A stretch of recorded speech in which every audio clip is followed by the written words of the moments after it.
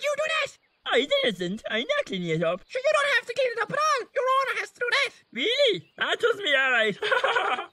Attention dog owners. If your dog decides to poop in public, it is your responsibility to clean it up, not theirs. Not only is dog poop disgusting, but exposure to it can lead to serious health problems. So please remember to pick up the poop. This message was brought to you by Fingal County Council.